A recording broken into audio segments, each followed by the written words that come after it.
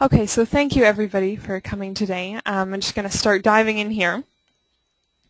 So I want to start off with this quote that a graphic designer friend of mine shared with me. Just have nothing in your design that you do not know to be useful or believe to be beautiful. Um, so this topic of design being useful, both useful and beautiful, um, both being functional and attractive to look at, is a theme that we're going to be revisiting often throughout this presentation. So I want to put that in your heads right now. Just one or the other is not enough. You need both.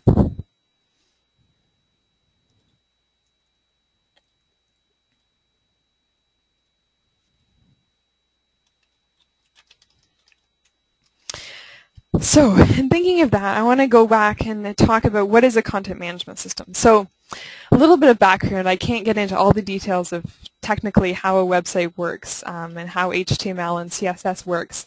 Um, but basically the idea is that HTML is a special language that tells a browser like Internet Explorer or Firefox how to show a web page.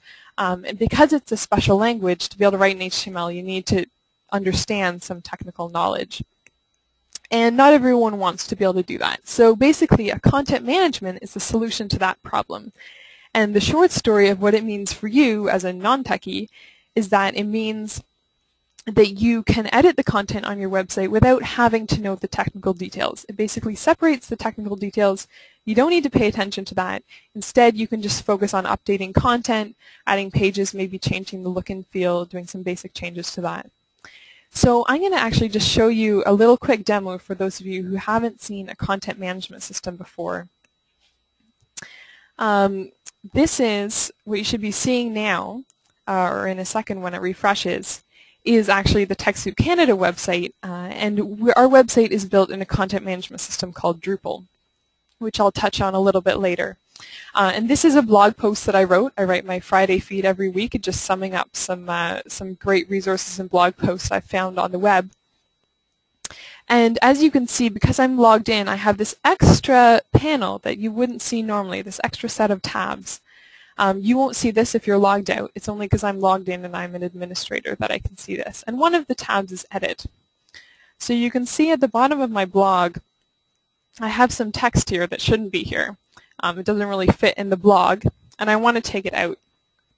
So what I'm going to do is instead of having to edit the HTML, I'm just going to press the edit button and give it a second to load.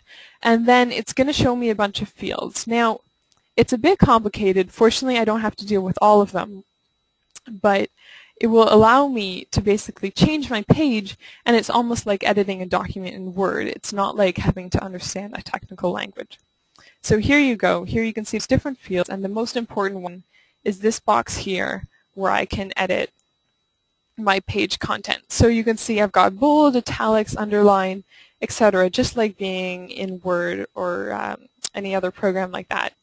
And if I scroll down, I'll find this text that should not be in here. So I'll just delete this.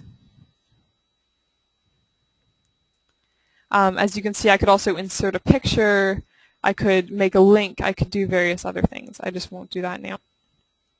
We'll ignore all those other boxes. And then I'll save the changes that I just made. And it will be updated on the site live in real time. So that's the idea behind a content management system, if you haven't seen it before. If we look now, um, my text is now gone, that, that, uh, that little piece of text that I have. So that's the idea. It's really simple and easy to update. You don't need to understand the technical side. Um, it's a big advantage for nonprofits. Uh, if your site isn't in a CMS right now, having it in a CMS will empower you to be able to make the changes yourself, and that's a huge advantage. So this is why I wanted to take a moment now to just show that to you. So we're going to get back to our presentation here. I'll move along with this. One sec, let me just minimize that. Okay.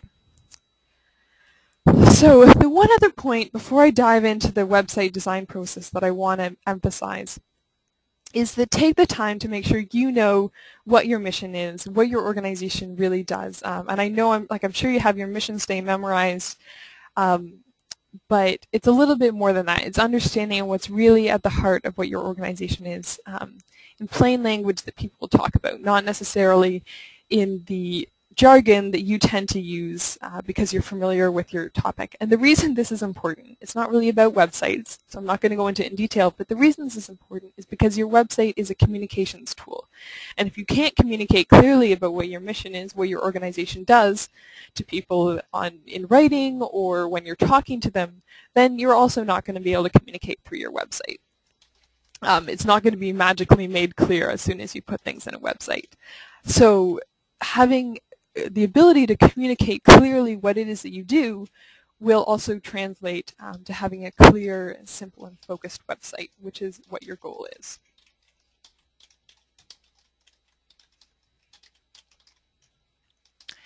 So when you think of the website design process, this is probably what you think of, I'm guessing.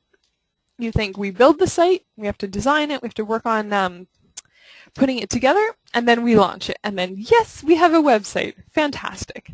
Um, now, this is great, but in my opinion, there's a couple of things missing from this, this diagram. So this is what I think it should really look like. It's actually four different steps. Now, of course, these steps aren't always going to happen strictly in this order.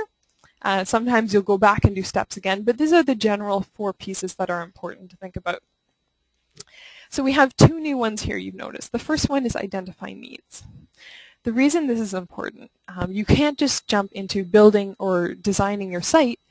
Um, you need to do this needs identification step first. Um, the reason is if you don't know what you want, who knows what you're going to get. But it's probably not going to be what you need. Um, I can almost guarantee you that. Uh, as an example of this, uh, this is something that uh, one of the consultants we we talked to shared with me. Um, on the left side, these are both that these are both sets of requirements that a nonprofit provided him for what they wanted on their website. The one on the left side, all they gave him was a list of eight page titles that they wanted on their site. That was it. No guidance of what um, what they wanted it to look like, who their target audience was, um, nothing. Just a list of eight titles. And he asked them for more information. They didn't provide it basically, if you do that, if that's what you tell your consultant, what you're doing is you're putting it in their hands and you're saying, make whatever the heck you want. Who know, like your consultant could have no understanding of your mission. They could have no understanding of what you do. They could make a site that's totally inappropriate for you um, through no fault of their own, just because you didn't you didn't tell them what it was that you really wanted. On the other hand, on the right-hand side, you've got someone that's actually taken the time to think through what they want. They've provided clear and detailed directions to their consultant, um, and they're going to get a site that actually matches what their needs are because they took the time to think it through. Now, don't get caught up on the length of that specific uh, set of instructions. That's not my. That's not important. That's not what the point is. It will depend on how complex your site is. The point is taking time to think through their needs. So we're going to talk a bit more about that. The other piece that's important is the maintenance step. Um, once you launch your website, it's not done. Um, there's ongoing maintenance that has to be done both in terms of the, the system that you're using will need to continue to be updated and in terms for you, just keeping the content up to date, keeping your site alive, something that people want to come back to repeatedly. So you're not, you're not totally done once your site launches. You're not totally off the hook. So this is overall uh, the design process. This is overall what to expect when you're building a new website, and this is what we're going to dig into a little bit during the rest of this presentation. So I want to start off, and I'm going to spend quite a chunk of time on this because I think it's really important, as I've mentioned. What does it mean to identify your needs? Uh, what exactly should you be thinking about to make sure that you get a site that is what you want? So to start off, the two of the first, the most important questions you should be asking are who will visit your website and why? What do they want to do while they're on your website? So are you targeting potential donors? Are you putting more of a focus on volunteers? Is this for your board? Is it, do you want people to um, be advocates for the causes that are important to you? Uh, whatever it, do you want people to adopt animals? I mean, you need to think about what is it that people want to do on your website? Why are they going there? Um, and in, and then target it towards them.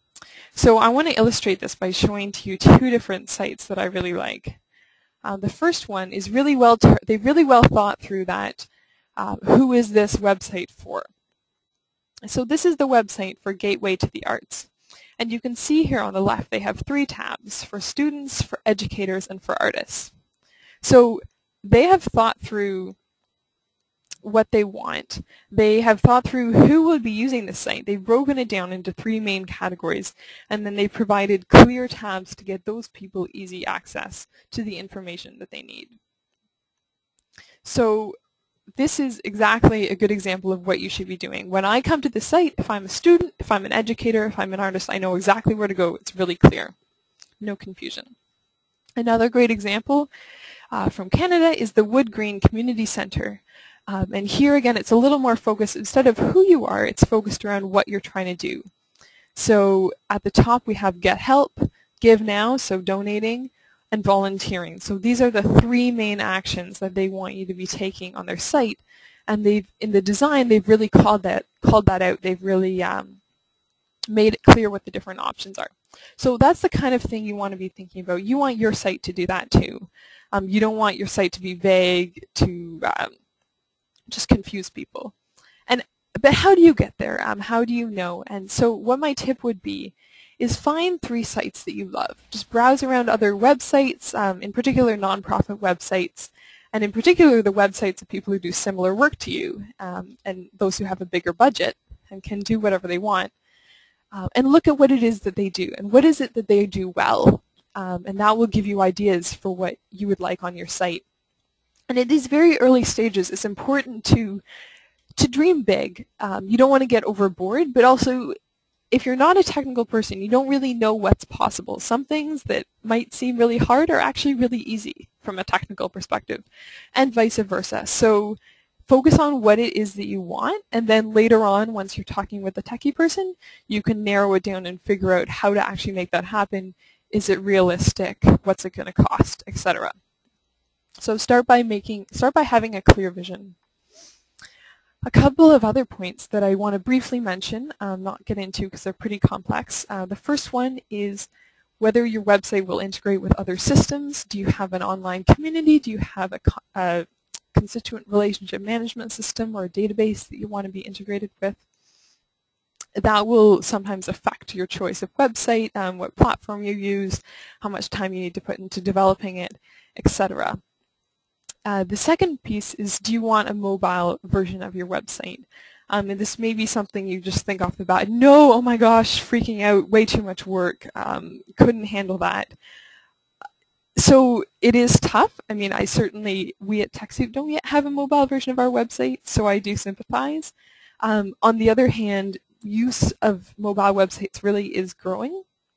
You, what you can do to get a feel for whether people are coming to your website on their mobile devices is to look at your Google Analytics if you have it, and if you don't have it, I'll explain later why you need it. Um, look at who's coming, how many visits are you getting from mobile devices. It should give you a ballpark for whether this is something you need to be considering or not. Um, but it really is growing. I mean, I know it's hard to understand. If you don't have a smartphone yourself, you think, why are people coming to my website on a mobile device? I don't get it. No one's doing it. It's not important. Um, and it does depend on who your constituents are but certainly once you have one, you'll realize how annoying it is to work with websites that are not optimized for mobile devices. And sometimes it's not too hard. So just another thing to keep in mind, this is an example that Oxfam have done. Obviously they have lots of money to do things like this. Um, but it's just, this is a good stage to be thinking about it, and sometimes it's really not that hard. So be aware that this is an option.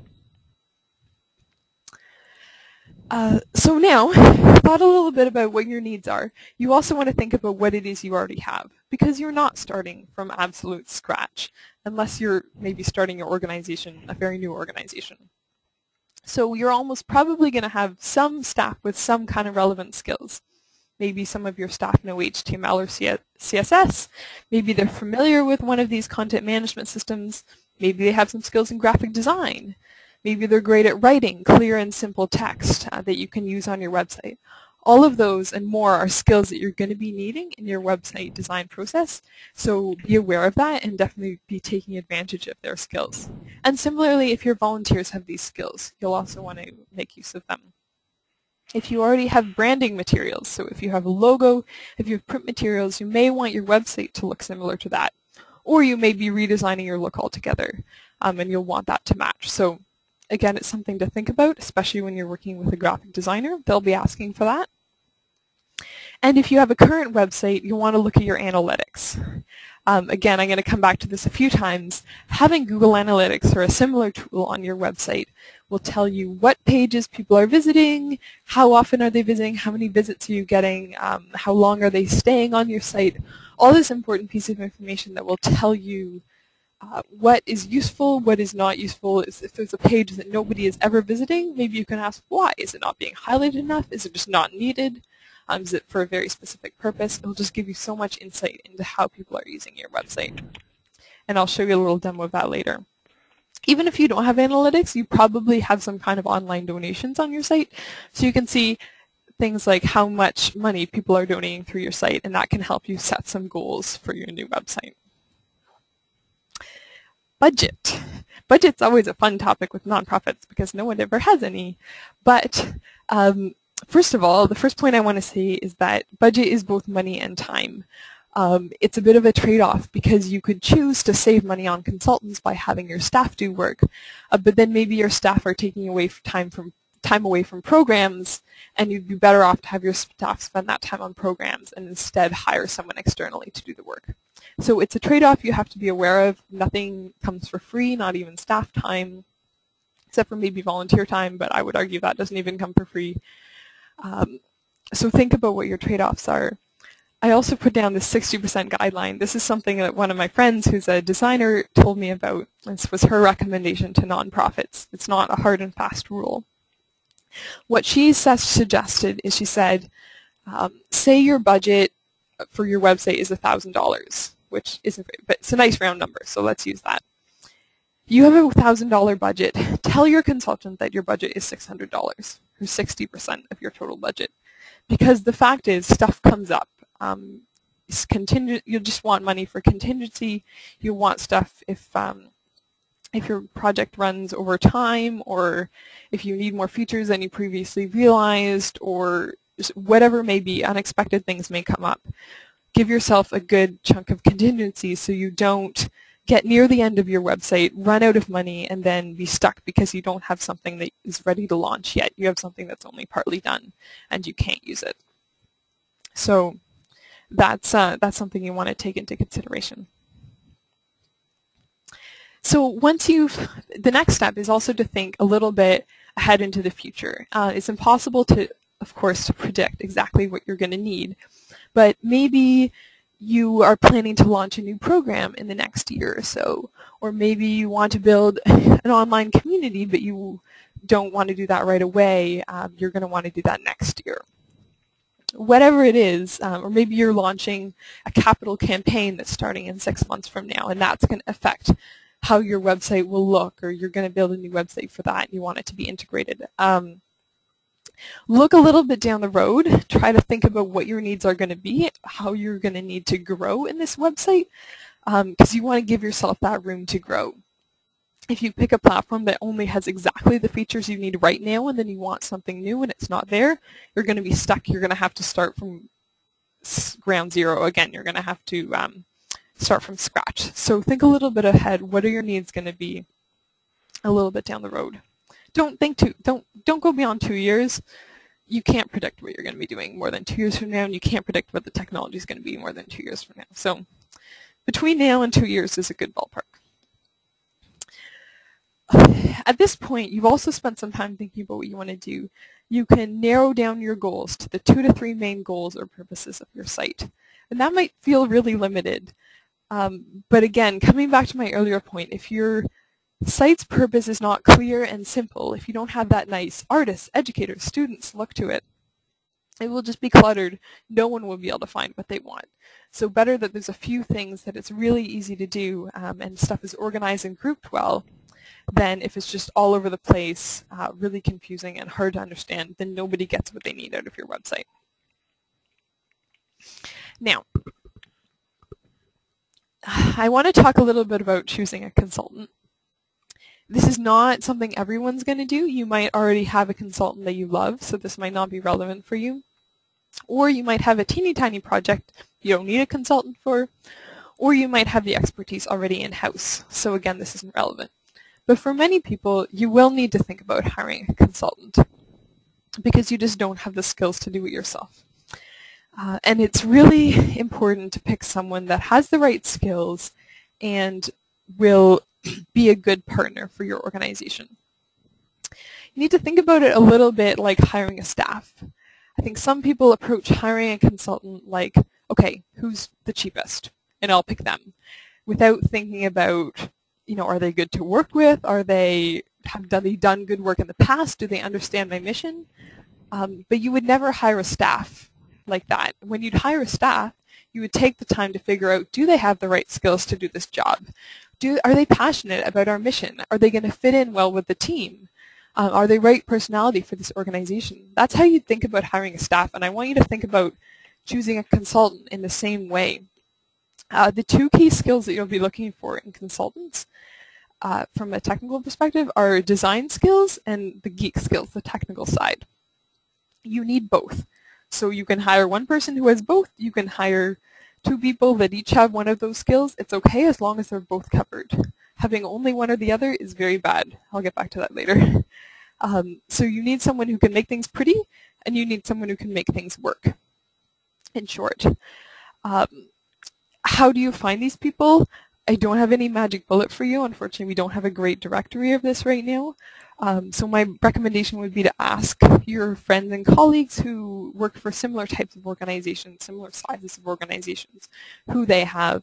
Did they like them? Did that person listen to them? Did that person understand what they wanted? Or did that person just um, kind of like whip something off for them that didn't meet their needs and they were upset afterwards or they didn't stick around in the long run?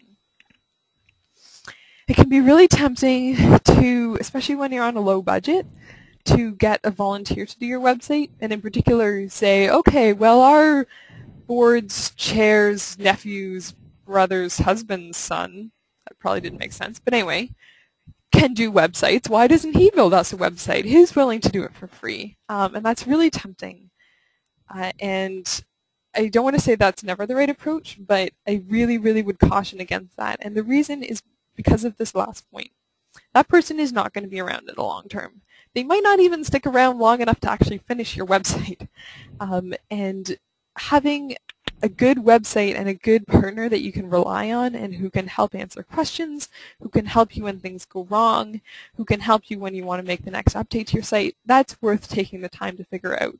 Having a volunteer who will disappear and leave you with a site that you don't know how to use that maybe doesn't meet your needs, um, you're just going to have to start from scratch again six months from now and that is just a waste of your time. You don't want to be doing that. So even though it seems tempting, it seems like a good deal in the short term, take the long-term view, uh, find someone who will actually meet your needs. And it, sorry, I skipped that point. Avoid custom solutions. If someone has their own custom CMS, I'm kind of wary of that. There's a lot of other good options out there that I'll talk about in a minute. You can ask me about that later if you want to hear more about that point. So the last thing I want to talk about in this section, actually second last, is roles and responsibilities. So this is things like who's going to be managing the project, who's going to be arranging meetings, making sure things move along, um, all that type of stuff. And this is something you want to set up front and make sure that everyone's on the same page, everyone has the same expectations. Uh, and to illustrate why this is important, I'm just going to tell you a brief story of a time that I worked for a for-profit company. It was a small for-profit company that was in the process of redesigning their website, and they had hired an outside marketing firm to do the website redesign for them. But they skipped this part. They didn't talk about roles and responsibilities, and they didn't set the expectations up front. So when I got there, what I had found that happened is that basically nobody was owning the project. Each party expected each other to own the project. So the company I was working for thought, why isn't the marketing firm we hired? Well, we hired them. So why aren't they why aren't they managing us? Why aren't they telling us, we need you to review this? Why aren't they asking us for our feedback on things? Um, meanwhile, the marketing firm was saying, well, the company that hired us, they're responsible for making sure that this project moves along. Why aren't they getting in contact with us? So each side was just kind of sitting there wondering why the other person wasn't doing anything. And in short, nothing was happening. There was a lot of miscommunication. Uh, it led to a lot of arguments over the budget because then by the time things actually started happening, the original requirements weren't correct anymore, things needed to be changed. Um, there's just a lot of confusion and um, stress around the whole situation, and it could have been avoided by having some discussion of it up front. In the end, what had to happen was that someone from the company that I worked for had to take over managing the website to actually make sure it was moving along and got completed in time. So some you, you can't just expect that the website's going to happen and don't just assume that your contractor or consultant is going to manage it for you. Um, if you want them to do that, you need to let them know or you need to take it on yourself. I quickly want to just say something about timeline. Uh, if you have your annual report being released in three weeks and you would love to have a website up by then and you haven't started anything yet, I it probably won't happen. So don't tie your website to some fixed date that's not realistic and hasn't been well thought through. Um, if you haven't worked on a website before, um, it is possible to do quickly, but you want to take the time to think it through, um, and you don't necessarily know how long things will take. As I said before, some technically some hard things are easy, some easy things are hard. Um, sit down with your consultant, make a plan that's realistic. Don't try to tie it to some unrealistic expectation um, that will just cause stress for the team when you can't reach it. So, I've actually just got a question on uh, WordPress. I'm actually going to get into that in a second. So now what I'm going to talk about, we're going to shift gears a little bit and talking about the process. Okay, we know what we want. We're ready to start um, choosing the actual content management system we're going to use, and then we're ready to start designing and building our website. So first time, as I said, I'm going to talk about different content management system options. So if you're already a CMS Pro, this stuff will be reviewed for you. Um, and then later I'll jump back into some other stuff, so you'll want to come back for that. Um, and then, as I said, I'll talk more about things like design, uh, search engine optimization, and Google Analytics. And this, this next little section, I'd like to give credit to Julian Eaglestaff from Freeform Solutions, who came up with this, and I just stole it from him with his permission. So when it comes to content management systems, there's three main like groups of options, different three main paths that you can go down. Let's put it that way. Um, there's the commercial and proprietary option, open source, or a completely custom solution. And I'm going to talk briefly about each one. So commercial proprietary solution is like renting an apartment. Basically, someone's already built something for you. You go rent your apartment, you pay a monthly fee, you can make some changes, like you can paint the walls, but you can't put an extension on the apartment. You can't add a patio if there isn't one there already. You're kind of limited by what you can do. And a commercial proprietary content management system is like that. Um, they're usually really well built. It can be really easy to use, um, sometimes more so than um, other the other options. Um, so if what you want is within the parameters of what's there, uh, it can be great, but there's not room to expand. If you want to do new things, uh, you can't, basically. You're limited by what's there already, by what the, the company making the CMS has decided to do. So that's that's one option. And an example is Squarespace. Um, this is what it looks like. Other examples are Weebly, Wix, etc. Um, basically most content management systems that aren't open source would fall into this category. The second option is, as I mentioned, open source. And this is pretty much like buying a fixer-upper.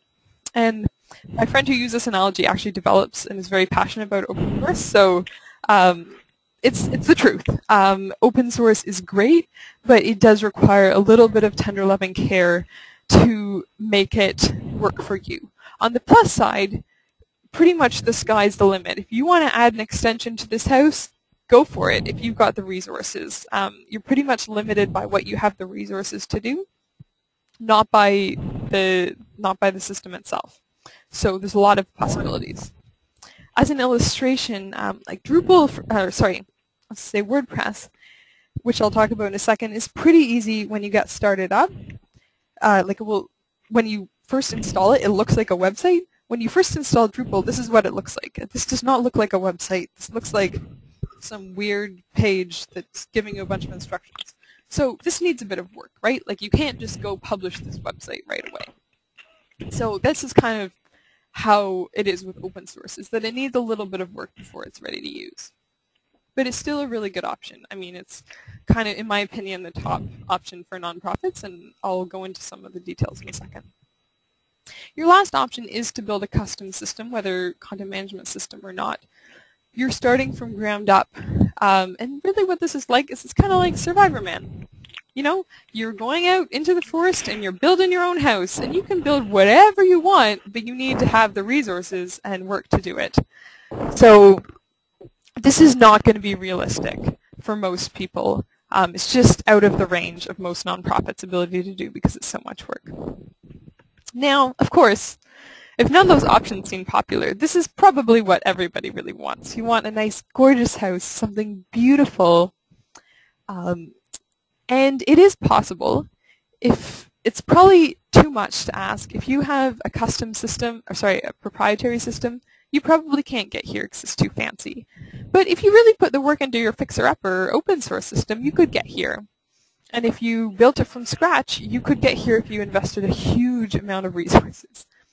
So that's why I feel that open source is often a good balance for nonprofits because it gives you the flexibility to do new things, but it also provides you a place to start from that's good.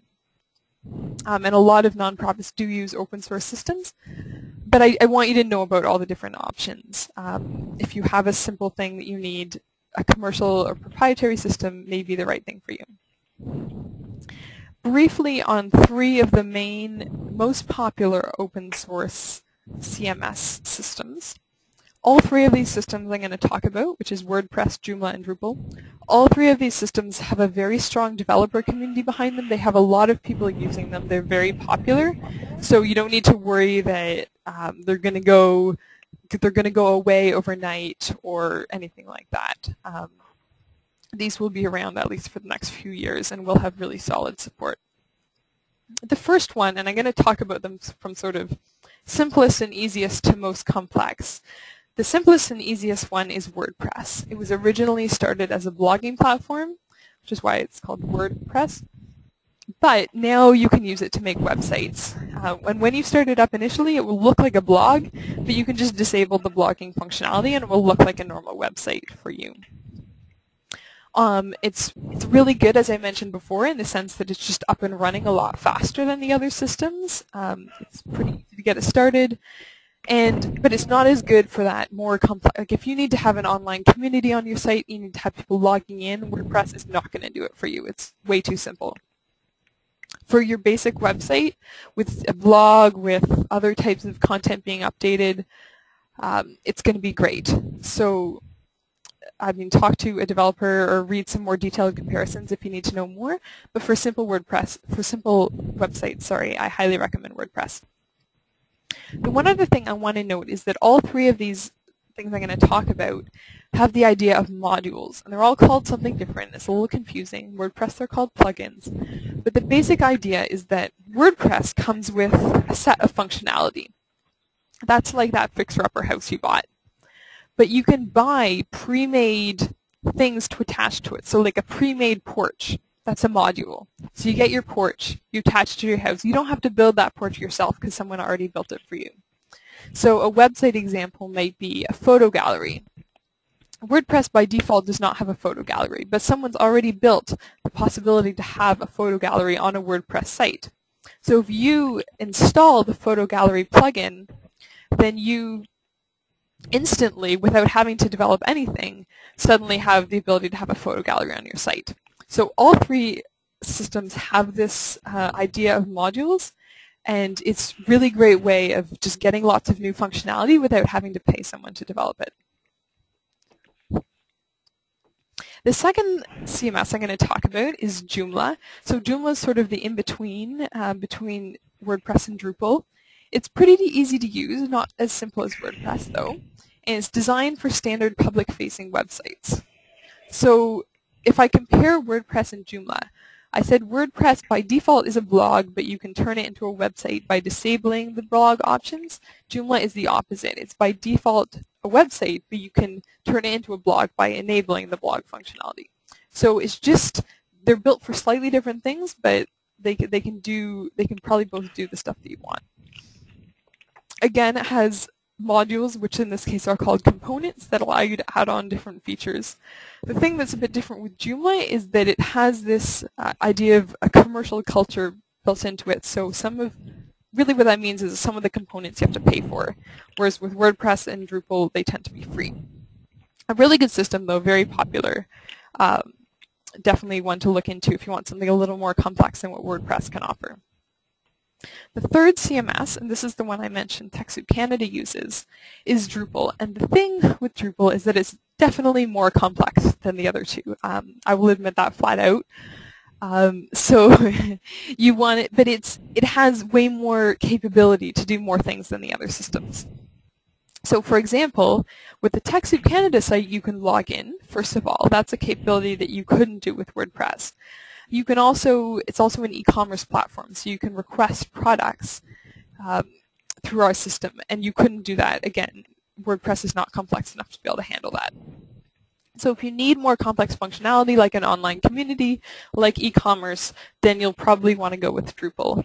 And again, like uh, like the others, it has modules. The modules are a little bit more complicated. You'll want a developer who's familiar with Drupal to help you out with it for sure, um, because it is more complex and techy.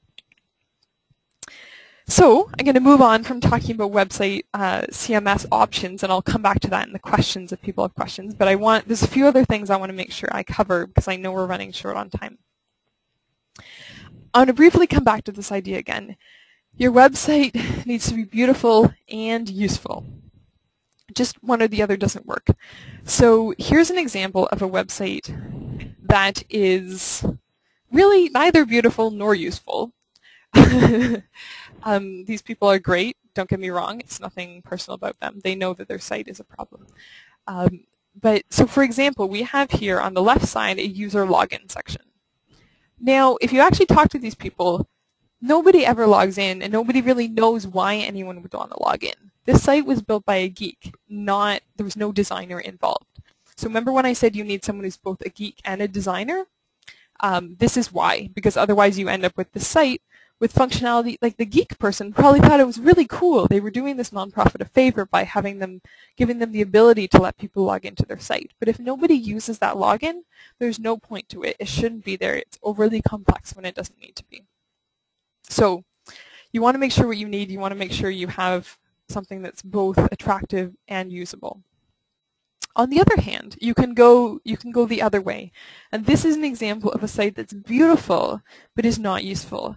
This was built for a specific capital campaign, and I won't mention which organization it was.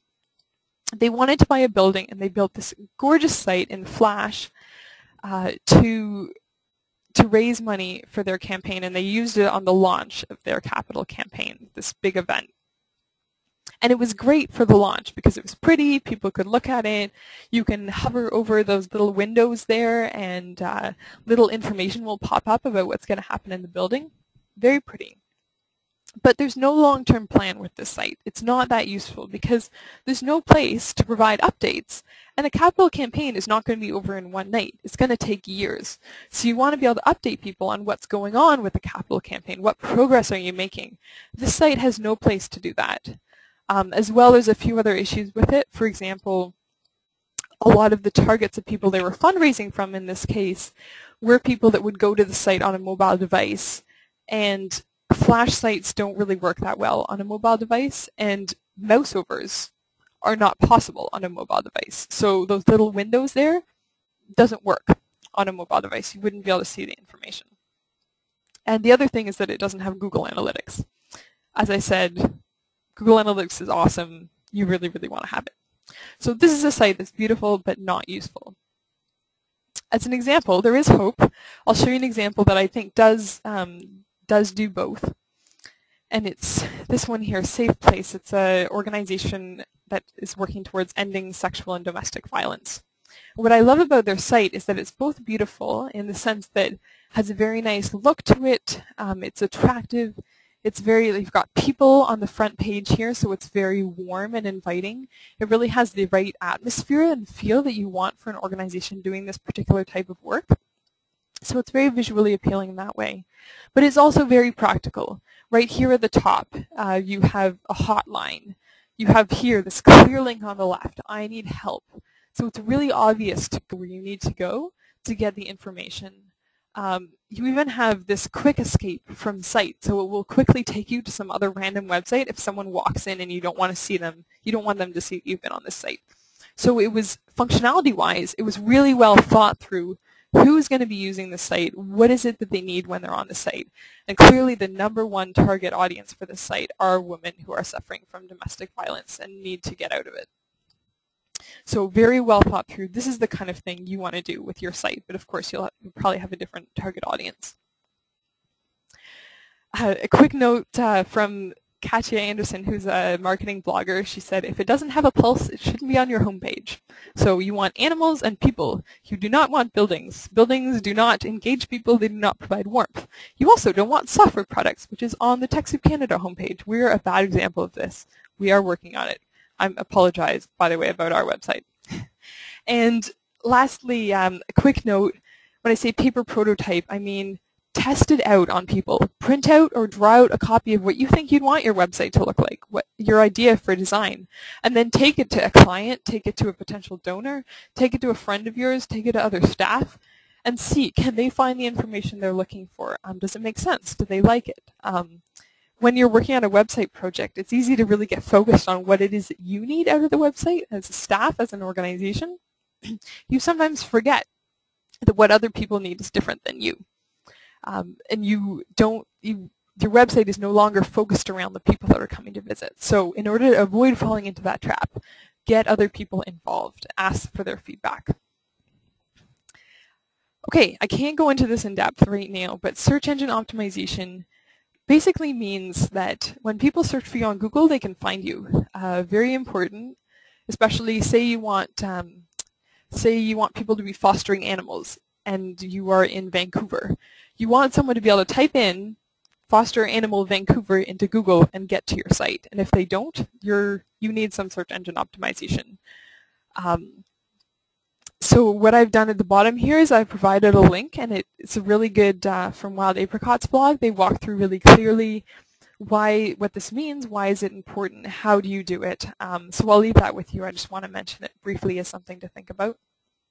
Another thing, I think I've harped on this about a million times so far in this webinar, install Google Analytics.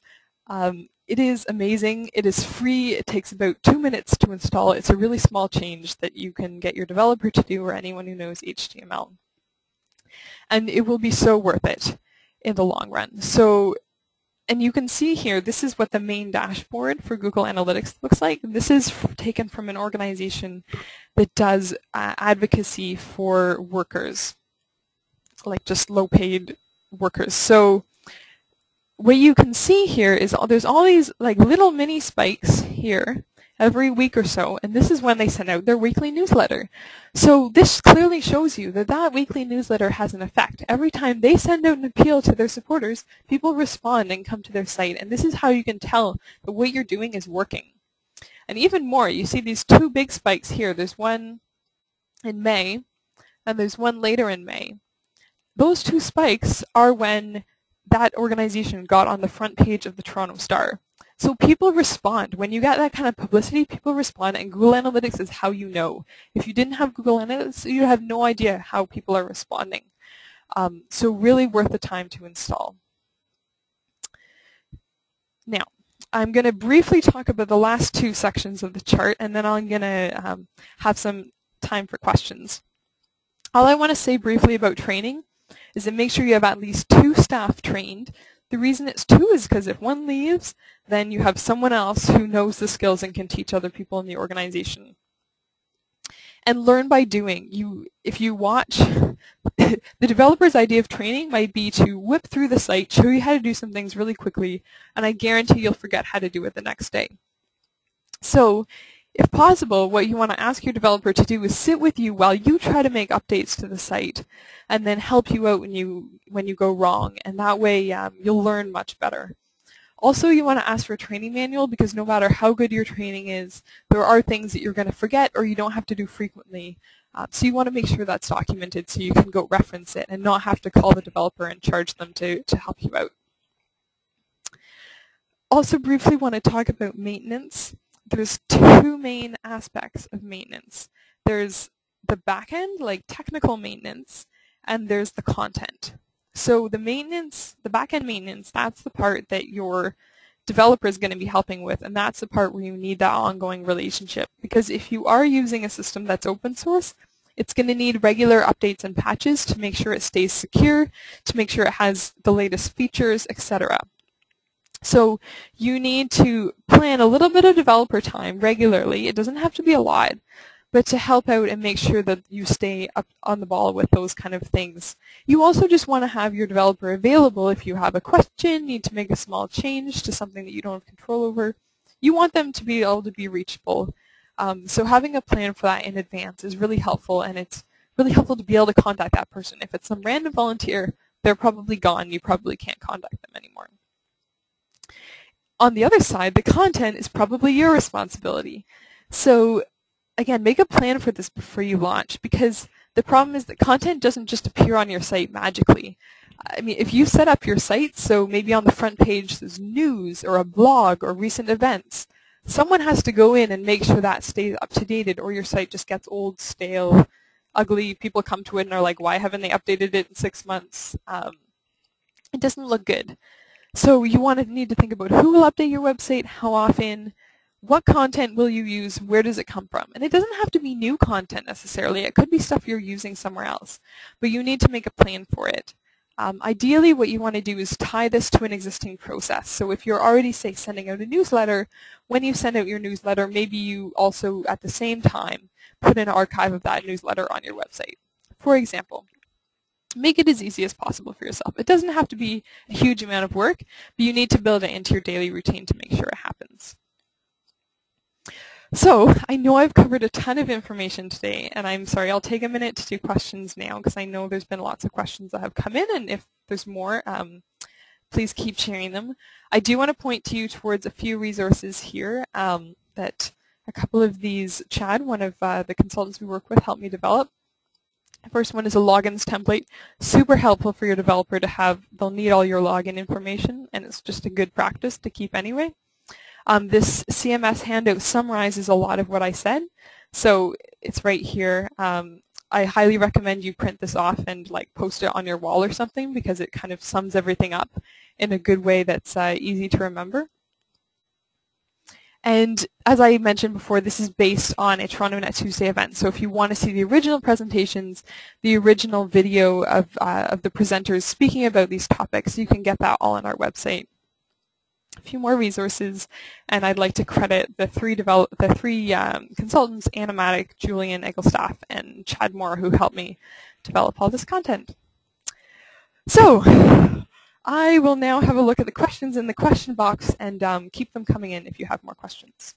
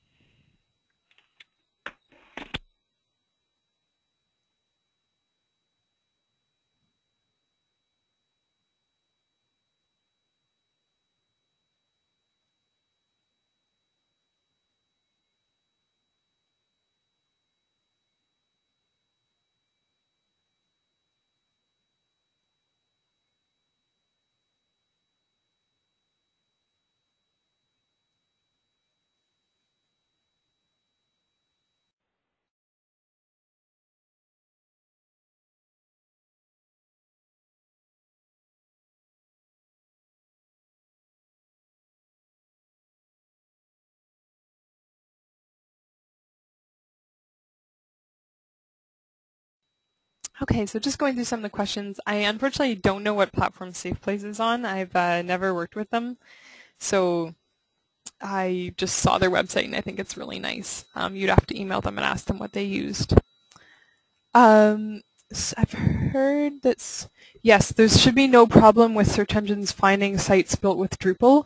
Um, the issue would actually be, the problem is search engines finding sites that are built on Flash, which is a different technology, and it's used by, I think, Weebly and some of the other um, commercial CMSs. The problem with Flash is that sometimes the words are embedded in pictures, so Google doesn't see the words, um, and that can be a problem. But you should have no problem, um, search engines should have no problem with Drupal, WordPress, or Joomla, or any of the ones that I mentioned.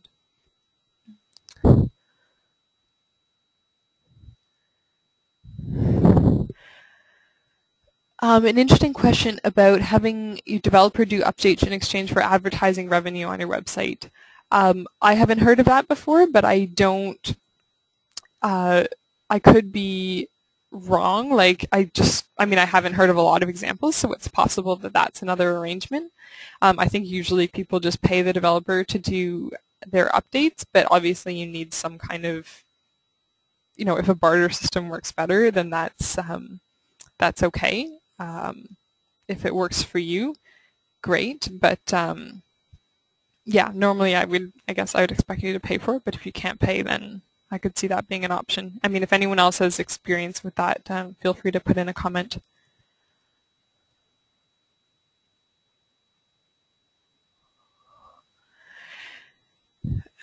Um, question about how much technical knowledge is needed for Drupal versus WordPress. Um, I don't have a ton of personal experience setting up the sites from scratch. My impression is that someone with pretty limited technical experience might be able to set up a WordPress site from scratch if they were a little determined and willing to explore and learn a few new things. Uh, whereas probably you wouldn't want to set up a Drupal site from scratch. So uh, if you were not familiar with the platform. Uh, it's just considerably more complex. The way the modules work is kind of confusing if you don't understand programming. Um, so I would definitely recommend getting help with Drupal. So I'm not really sure um, on what scale to put it, but I would say that WordPress, like you can you can get a developer, but it's it's much much much simpler. Um, so if you are on your own, don't go for Drupal. Go for go for WordPress if you can't afford to hire a consultant and are trying to figure this out yourself.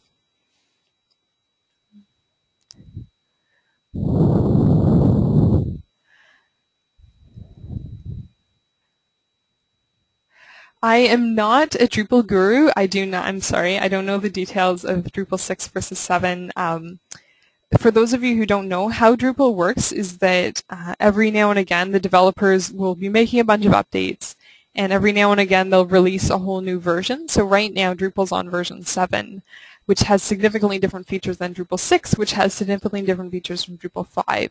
Um, and different modules work, like some modules will only work with Drupal 6, not Drupal 7, etc. So in terms of planning for upgrades, um, you'd really, first of all, you have to make sure that all the all the modules that you use and want are available in the version you're upgrading to. For example, if you use a module for, again, to go back to the photo gallery example, and your uh, your photo gallery module is only available in Drupal 6, then you don't want to upgrade to Drupal 7 yet unless you're willing to um, to put in the time to change the coding yourself or pay for that to be done.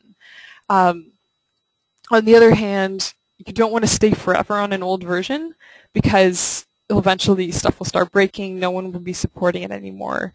Um, so this is something where you want to talk to someone who's an expert developer or who's just very familiar with the Drupal platform and also familiar with nonprofits and their needs, and they'll be able to give you a better feel for where Drupal's at and when you should think about upgrading.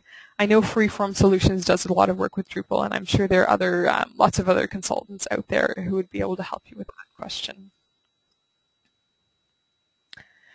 Accessibility is a whole other question. Someone asked about that. Um, one big issue for accessibility I'll come back to again is a Flash website. Um, if you have a website that's on Flash, it's very difficult for screen readers. It basically just doesn't work, and I actually had that feedback um, really recently from a friend of mine who's blind. He said just he hates Flash websites because he can't read them at all. So I would stay away from Flash for from an accessibility perspective, even though I know it's really pretty, but it's a pain in the butt for like people who can't read it if they're blind. So that's a problem. Um, there's both things you can do um, when you're developing the site and there's like little things you can do when you're changing content in terms of like using alt tags for images, um, etc. It kind of goes into the techie side, but I might be able to find you a good resource on um, on some things you can do to make your website a little bit more accessible. So um, let me follow up with you on that.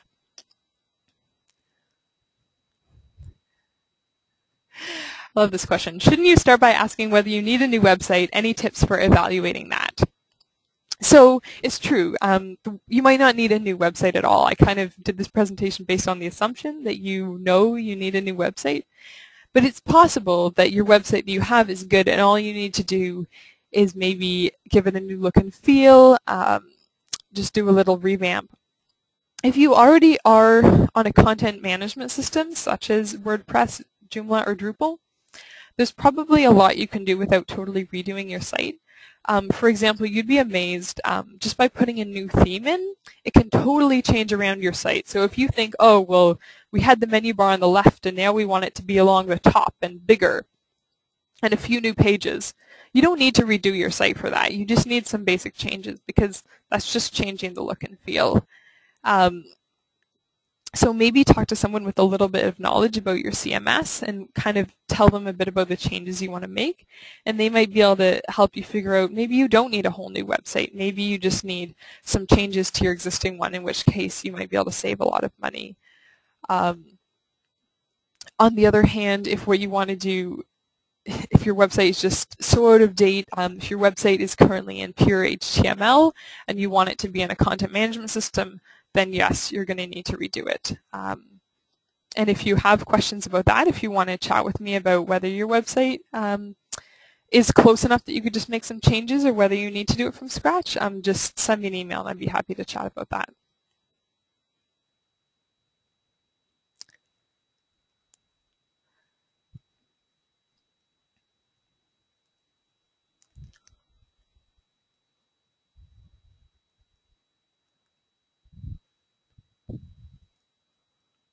I'll just say again, um, I will be sending out an email after this presentation with the audio recording as well as the presentation slides, so that will be available for you, don't worry. Um, so I think it's kind of getting late in the presentation. So, oh, sorry, I didn't provide my email contact. Let me do that right now. Actually, Lori, can you do that? Um, it is getting late in the presentation, so what I'm going to do, there's a few existing questions that I'd like to address, so I'm just going to follow up with you either personally or if I think it's applicable to everyone, I'll just send in everyone an email answering those questions. Um, I know that the time is sensitive and I want to be respectful of your time, so Thank you everyone for attending. If you have any more questions, um, do email me. Lori just put it in the little chat box. If you open your chat window, you can see it. Um, as I said, I'll be following up with the presentation, the recording, the survey, and, um, and answering any outstanding questions. So thank you very much for attending and have a rest of your day. I hope it's great. Bye.